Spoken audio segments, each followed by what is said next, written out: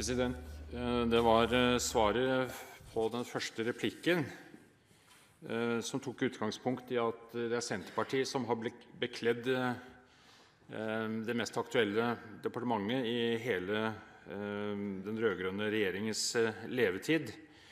Og så ble det svart at olje- og energistatsråden ikke hadde noen særlig betydning.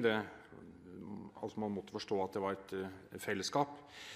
Så jeg får behov for å spørre mer eh, konkret. Har det i det hele tatt hatt noen positiv betydning at Senterpartiet, altså sett fra Senterpartiets eh, synspunkt, at man har levert personer til å lede landets olje- og energidepartement?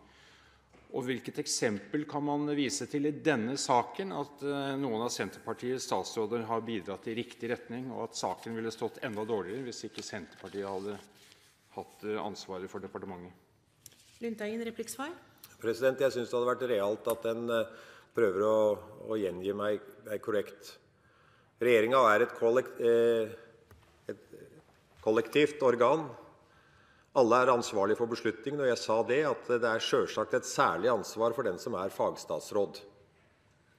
Jeg kan gjenta det til representanten Tetzschner. Den som er fagstatsråd, har et særlig ansvar innafor det kollektive organet. Sjølsagt. Dermed så er det også, siden det er et kollektivt organ, verken riktig eller mulig å si at Senterpartiet i regjering har gjort noe spesielt fordi at en har framstått og framstår som en enhet. Det som var det vesentlige bidraget som Senterpartiet hadde i den saken, det var at en i forbindelse med etableringen av regjeringa fikk denne saken på dagsorden ut fra det alvoret, og ønsket da å ta djerve grep. Og så kjenner vi resten, hvordan det har gått.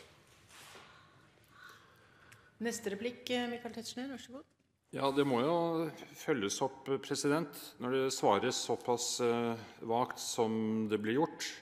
Etter å ha erkjent at fagstatsrådene har et ansvar, så vil jeg svært gjerne høre har det i det hele tatt hatt noe som helst positivt bidrag fra en av Senterpartiets statsråder i disse åtte årene som har brakt denne saken i en riktigere og bedre retning enn det som er sluttresultatet, som vi kan lese. Ville, ville saken også eh, vært enda verre hvis ikke Senterpartiet hadde bidratt?